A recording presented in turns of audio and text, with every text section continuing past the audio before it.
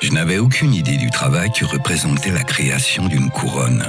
Alors, quand on m'a demandé de concevoir la fameuse couronne de Miss Réunion, plus je dessinais et plus je comprenais que cette couronne ne devait ressembler à aucune autre. Ça devait être une couronne unique, faite pour la beauté naturelle de la Réunion. Mais c'est quoi au juste la Réunion?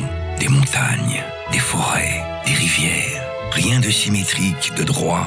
Mon Dieu que c'est beau. Je devais mettre tout ça, toute cette beauté dans ma couronne. Une forme étonnante, de branches enchevêtrées comme un sous-bois percé par le soleil. Et surtout, une pluie de cristaux étincelants, comme les gouttes d'eau d'une merveilleuse cascade. C'est toute la Réunion dans cette couronne, et elle va récompenser la beauté naturelle de Miss Réunion. Océanor, la Réunion est unique. Océanor, créateur de la couronne de Miss Réunion.